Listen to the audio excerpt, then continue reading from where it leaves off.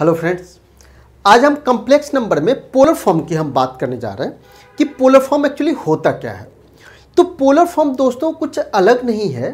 Polar form actually क्या है? जो कम्प्लेक्स नंबर है, इसका ट्रिगोनोमेट्रिक वर्जन है। ट्रिगोनोमेट्रिक फॉर्म है। उसी को हम पोलर फॉर्म कहते हैं।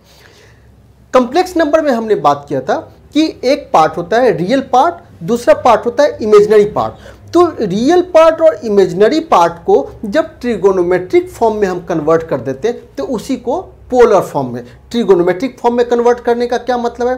ट्रिगोनोमेट्रिक फॉर्म में कन्वर्ट करने का मतलब ये है कि साइन कॉस में कन्वर्ट कर देना, ठीक है? ट्रिगोनोमेट्रिक जो रेशियोज होते हैं साइन कॉस टेन तो साइन कॉस में जो हम कन्वर्ट कर देंगे तो वो कह जाएँगे पोलर फॉर्म अभी हम देखते हैं।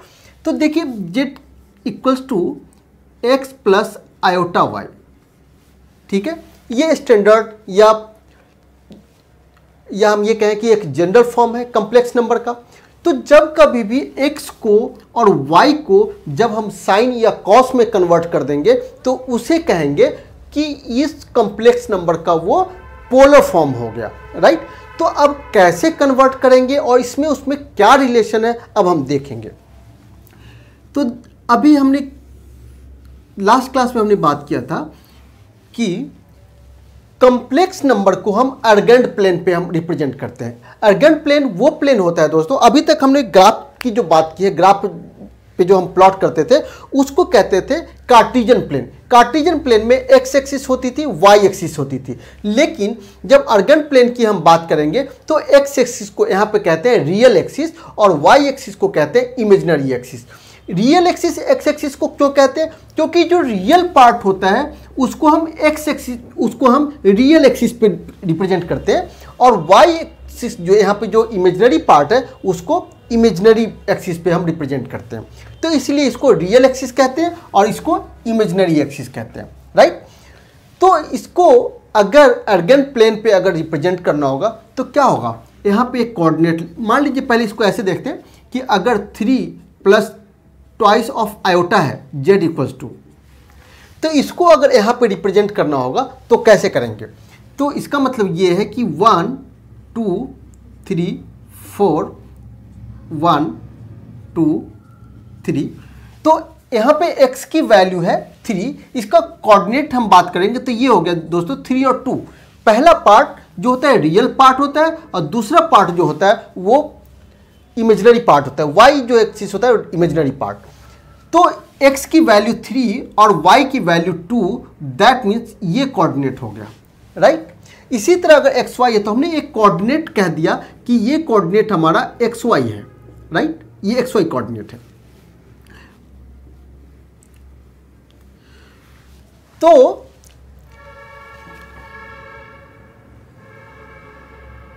और इसको क्या कहते हैं दोस्तों? मॉड याद होगा लास्ट क्लास में हमने डिस्कस किया था कि इसको मॉडलस कहते हैं। मॉडलस किसे कहते हैं? कि जो कोऑर्डिनेट है हमारा और ऑरिजिन से बीच के डिस्टेंस को ही हम मॉडलस कहते हैं। Modulus of that complex number modulus of that complex number is the distance between the point and the origin तो इसको हमने क्या कहा था? मॉडलस कहा था। इसको हम मॉडलस ऑफ़ जेड अब यहाँ से हम क्या करते हैं? एक पॉइंट परपेंडिकुलर ड्रॉप करते हैं। ठीक है? और तो अब देखिए यहाँ पे x है, इसका मतलब यहाँ से यहाँ तक की डिस्टेंस हो गई दोस्तों, x और यहाँ से यहाँ तक की डिस्टेंस हो गई y राइट अब ये x और y कैसे हुई? तो अभी हम देखते हैं। अगर यहाँ पे वन टू थ्री है और वन टू है तो अगर मैं कोऑर्डिनेट कहता हूँ कि थ्री टू इसका क्या मतलब? X की वैल्यू थ्री है। ये, इसका मतलब x की वैल्यू यहाँ से यहाँ तक की जो डिस्टेंस है दैट इज़ थ्री और ये वैल्यू टू है that means this is value two right तो ये हमारा थ्री है और ये हमारा टू हो जाएगा राइट इसी तरह ये y है और ये x है। इसको हम दोस्तों कहते हैं थीटा इसको कहते हैं थीटा राइट तो अब देखिए, हम अगर साइन थीटा साइन थीटा अगर हम बात करें तो साइन थीटा का क्या फॉर्मूला होता है दोस्तों? Perpendicular by hypotenuse. ये राइट ट्रायंगल है, क्योंकि हमने परपेंडिकुलर ड्रॉप किया है। तो जो भी हम एंगल, पहले ये देखते हैं कि 90 डिग्री किसी भी राइट ट्रायंगल में 90 डिग्री के सामने वाली साइड को हम हाइपोटेनस कहते हैं, जिसकी वैल्यू है मॉड ऑफ़ जेट जिस एंगल को हम लेकर के चल रहे हैं, जो थीटा है, उसके सामने वाले साइड को हम कहते हैं परपेंडिकुलर।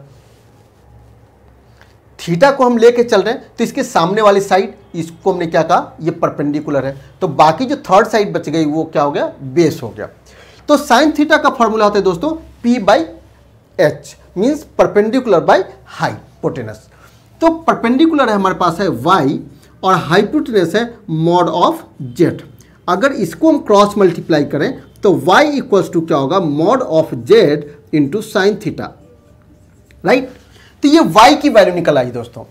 इसी तरह cos थीटा की हम बात करें, cos थीटा अगर हम निकालते तो क्या होगा? cos थीटा का फॉर्मूला होता है b by h base by hypotenuse तो बेस क्या है?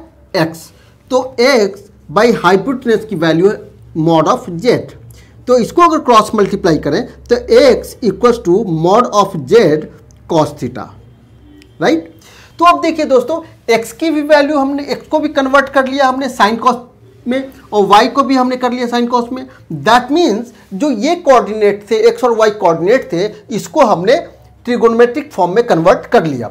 अब इसको हम रिप्लेस करेंगे।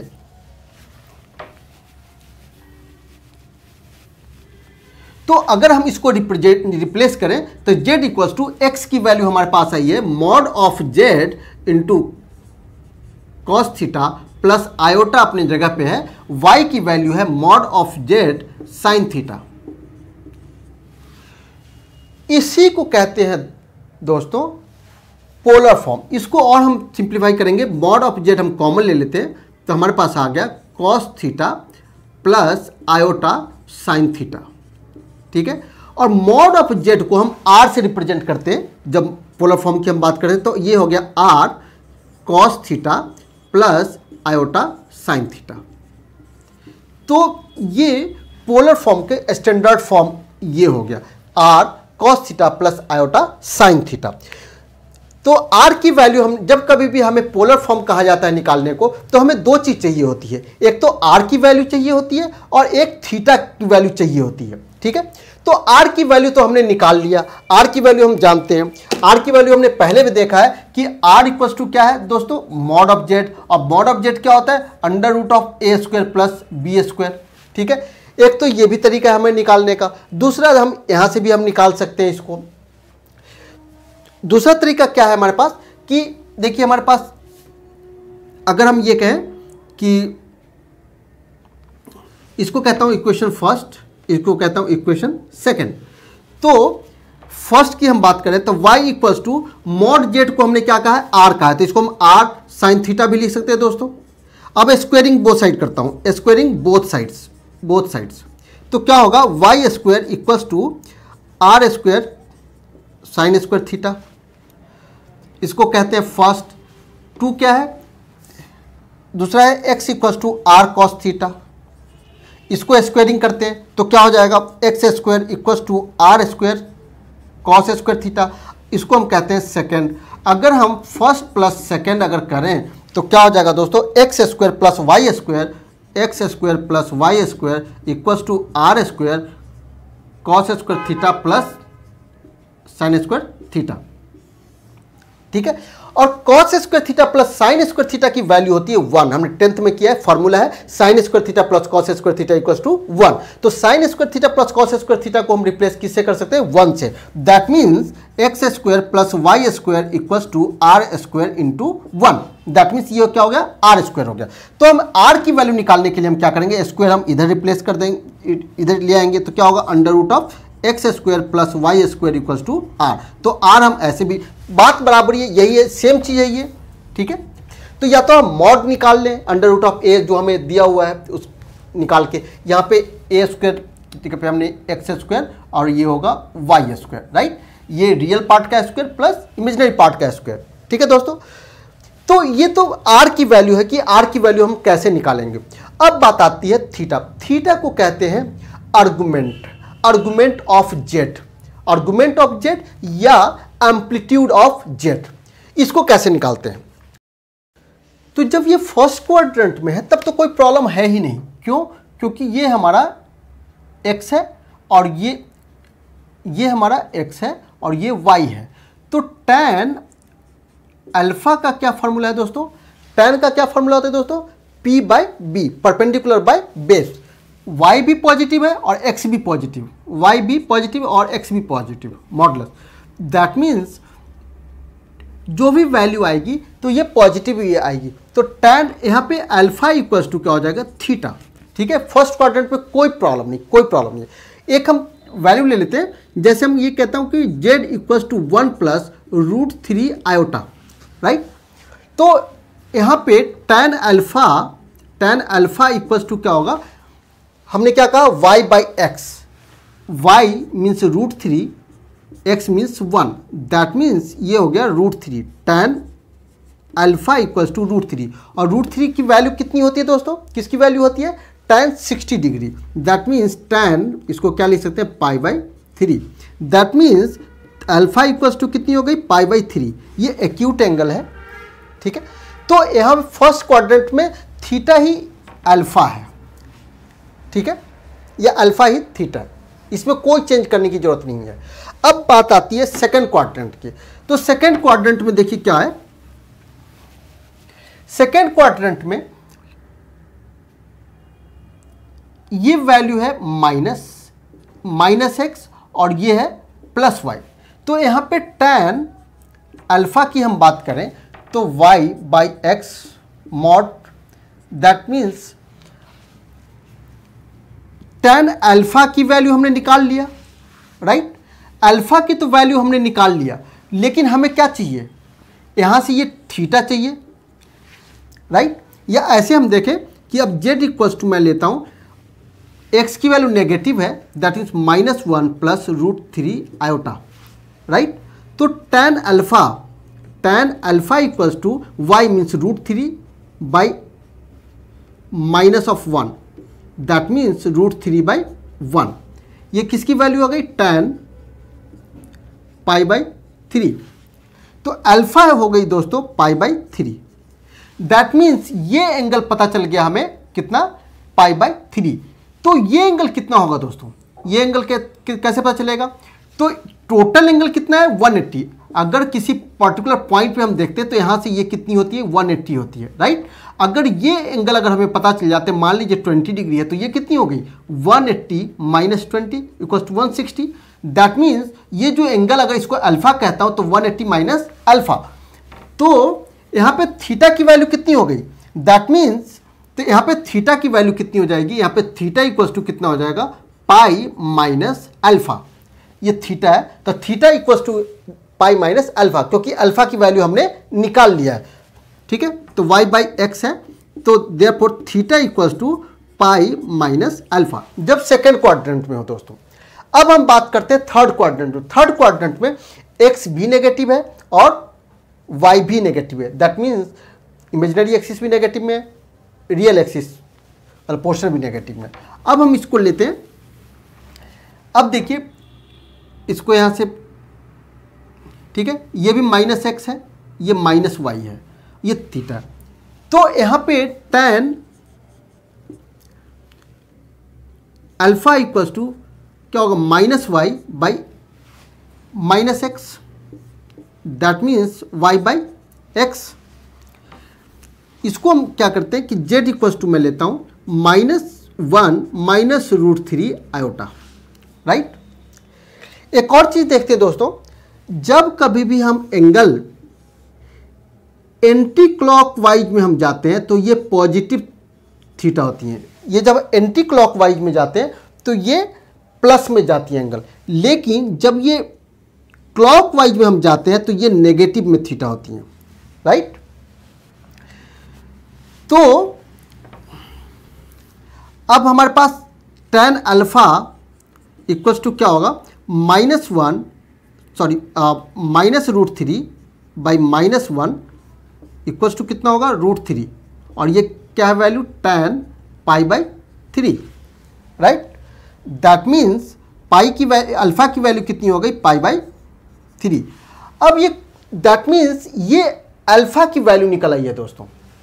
और अब हमें निकालना है ये थीटा की वैल्यू थीटा की वैल्यू और थीटा देखिए, यहाँ पे ये एंटी क्लॉकवाइज सॉरी क्लॉकवाइज है। दैट मीन्स ये नेगेटिव नेगेटिव क्योंकि दोस्तों, जब यहाँ से हम इधर जाएँगे तो ये पॉजिटिव डायरेक्शन में है ये प्लस 180 डिग्री राइट प्लस 180 जब यहाँ से हम इधर की ओर जाते हैं तो ये minus one eighty degree right तो अब हमें अल्फ़ा की अल्फ़ा की वैल्यू हमने निकाल लिया है तो हमें थीटा इक्वल्स टू क्या होगा? Theta equals to theta equals to pi minus alpha right क्योंकि टोटल यहाँ से यहाँ तक कितनी 180 पाई माइनस अल्फ़ा तो ये थीटा की वैल्यू निकल आई। लेकिन हम नेगेटिव डायरेक्शन में हम जा रहे हैं, इसीलिए हमने माइनस लगा दिया। दैट मीन्स यहाँ पे थीटा की वैल्यू कितनी हो जाएगी? Minus pi minus pi by three ठीक है? ये थर्ड क्वाड्रेंट की बात है दोस्तों। अब हम बात करते हैं फोर्थ क्वाड्रेंट की। फोर्थ क्वाड्रेंट में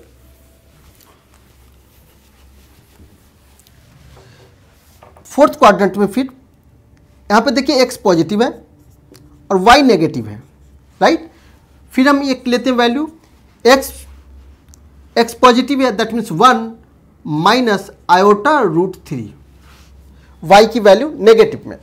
यहाँ पे देखिए अगर टेन अल्फ़ा इक्वल्स टू क्या होगा?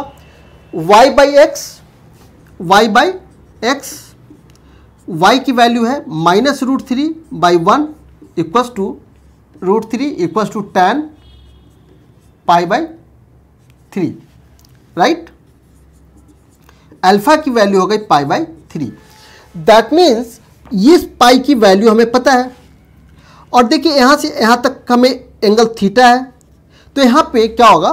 Theta equals to simple minus alpha right that means क्यों? क्योंकि ये नेगेटिव डायरेक्शन में हम चल रहे हैं तो यहाँ पे simple theta equals to minus alpha ठीक है? तो इसका मतलब ये हुआ कि जब कभी भी फ़र्स्ट क्वाड्रेंट में अगर ये कोऑर्डिनेट लाई करेंगे तो हमें कुछ करने की ज़रूरत नहीं है। दैट मीन्स एक्स भी पॉजिटिव में वाई भी पॉजिटिव में, तब कुछ करने की ज़रूरत नहीं है। जब सेकेंड क्वाड्रेंट में है तो हमें क्या लिखना है?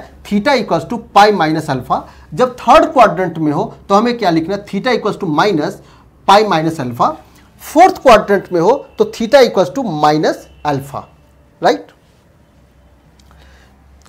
ठीक है? अब हम कुछ क्वेश्चंस जो किया, उसको एक बार समराइज करते हैं। समराइज क्या करते हैं कि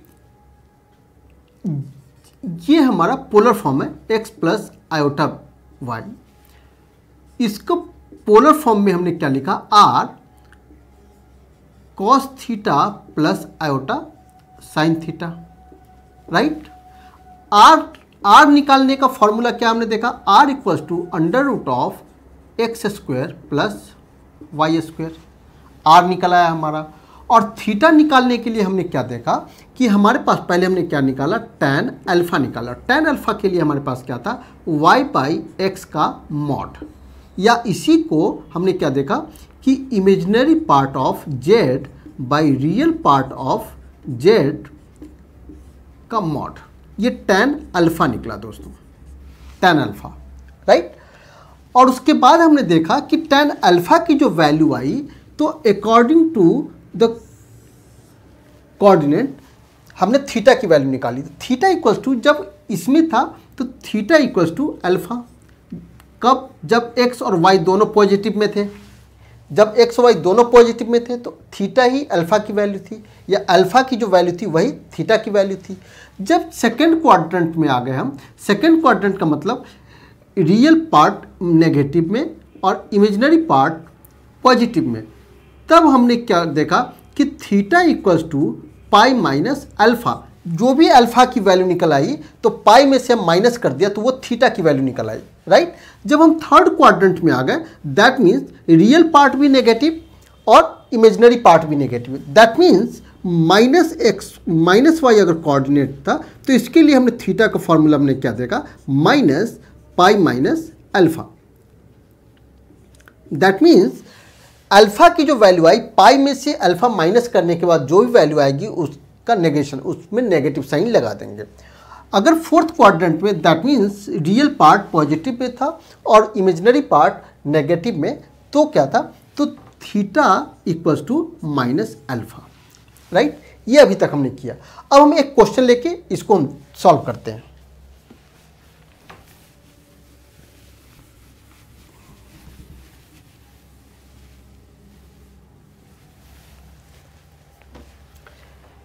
Z equals to one minus root three iota right तो सबसे पहले हम आर निकालते हैं, ठीक है? Z equals to r cos theta plus iota sine theta इस फॉर्म में लाना है। दैट मीन्स आर चाहिए और थीटा चाहिए। तो सबसे पहले हम आर आर का फॉर्मूला क्या है दोस्तों? X square plus y square x की वैल्यू कितनी है? वन तो वन का स्क्वायर वाई की वैल्यू कितनी है? माइनस रूट थ्री तो माइनस रूट थ्री का स्क्वायर राइट तो वन का स्क्वायर वन रूट थ्री का स्क्वायर थ्री ये कितना हो गया दोस्तों? फोर फोर ये प्लस माइनस बाहर निकल के टू लेकिन यहाँ पे हम नेगेटिव नहीं लेते पॉजिटिव लेते हैं। क्यों? क्योंकि ये मॉड है। मॉड क्या है? मॉड हमने क्या बात किया था?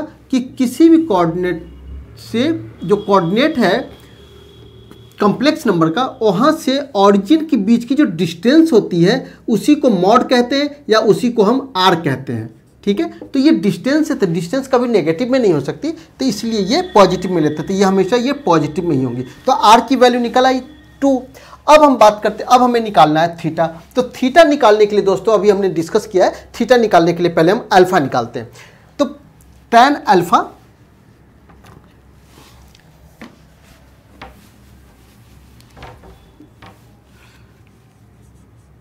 टेन अल्फ़ा क्या था? Y by x mod y की वैल्यू कितनी है? Minus root three by one equals to root three right tan alpha और रूट थ्री किसकी वैल्यू होती है? Tan pi by three tan sixty degree की value that means therefore alpha equals to कितनी हो गई? पाई बाई थ्री ठीक है? अब हम लिखेंगे क्या? बिकॉज़ ये किस क्वाड्रेंट में लाइक करता है दोस्तों?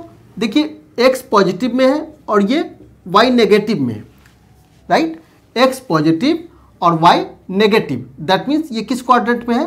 सेकेंड क्वाड्रेंट फोर्थ क्वाड्रेंट में राइट तो that means theta equals to क्या हो जाएगा? Minus alpha that means minus pi by three right तो अब थीटा की भी वैल्यू हमें पता चल गई है माइनस पाई बाई थ्री और आर की भी वैल्यू पता चल गई टू सिंपल यहाँ पे हम वैल्यू डालेंगे। तो हम यहाँ पे लिखेंगे, इसके पहले हम क्या लिखेंगे दोस्तों? Because z lies in third quadrant sorry fourth quadrant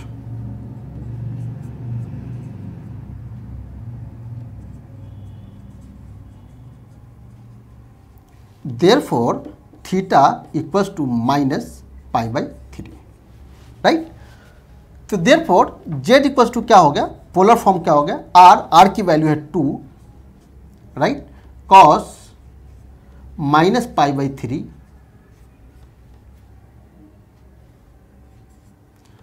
plus iota sine pi by minus pi by three right और एक बात आपको पता है, जब ट्रिगोनोमेट्री में क्या होगा cos minus theta equals to cos theta होता है। देर फोर अगर यहाँ पे cos minus pi by three है तो इसको हम क्या लिख सकते हैं? कॉस पाई बाई थ्री ठीक है? और sine minus theta equals to हो जाता है दोस्तों माइनस साइन थीटा राइट तो इसलिए अगर साइन अगर माइनस पाई बाई थ्री है तो ये क्या हो जाएगा? Minus sine pi by three तो इसका मतलब ये हुआ कि z equals to twice cos वाले में नेगेटिव खत्म हो गया, अभी हमने देखा तो ये क्या हो जाएगा? कॉस पाई बाई थ्री और ये साइन वाले में नेगेटिव बाहर आ गया तो ये minus iota sine pi by three तो ये हमारा दोस्तों आंसर हो गया। ये पोलर